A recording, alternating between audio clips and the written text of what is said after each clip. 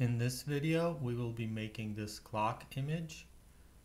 First, we need to make sure that our smart guides are turned on. Go to the ellipse tool and create a circle. Make sure you hold down the shift key to create a perfect circle and not an ellipse. We will have no fill and a black stroke. Make it as thick as I have it on my sample. Next we will create a tick mark and for that we will use the line segment tool. Make sure that you are aligned with the center of the circle and then click and drag down to make a tick mark. We are going to make a short tick mark. The thickness of the stroke will be the same as the last thickness of the stroke that you assign to the circle. So it will be too thick for the tick mark. So after you draw the tick mark, go back to the stroke window and change that to a um, one point.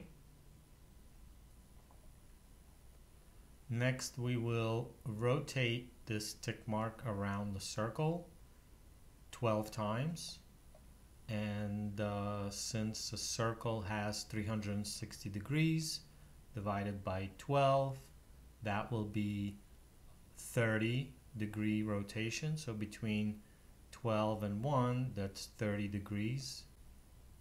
And we will use the rotate tool. Hover over the center of the circle until you see the word center. Hold down the option key and click. The rotate window will open and just type in 30 degrees and make sure you click copy, not OK, so that when you click copy, it makes a copy of the tick mark. And then go to Object, Transform Again, which is Command D. So I will just use the keys on my keyboard to press Command D, Command D, Command D, multiple times until I get all the way around. So that created all of my tick marks. Next, go to the direct selection tool and click only on the inner anchor points of the 12, 3, 6, and 9 tick marks. Get the scale tool and hover over the center of the circle again until it says center. This time click but do not hold down the option key, just click with the mouse button.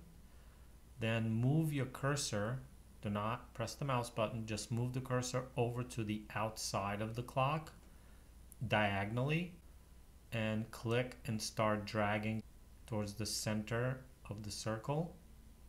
Hold down the shift key so that all of your tick marks stretch equally. Then make them a little bit thicker. Go back to the ellipse tool, hover over the center of the circle, hold down the option and the shift keys, click and drag to make that small black circle in the center. Select no stroke and a black fill. Next, go to the line segment tool and hover over the center of the circle and click and drag to create the first arrow. And then go to the stroke click on stroke and click on black. Make it thicker so that it's about 10 points And then also in the stroke window, click on arrowhead and choose an arrowhead. I think I use number seven. It'll most likely be too large, so you want to use the percentages here. Next, go back to the line segment tool and hover over the center of the circle and click and drag to make the next arrow which is going to be longer than the first one. So we'll make this one 8 points. And also click on the arrowhead and choose an arrowhead. Again that's going to be too big so you want to make it smaller.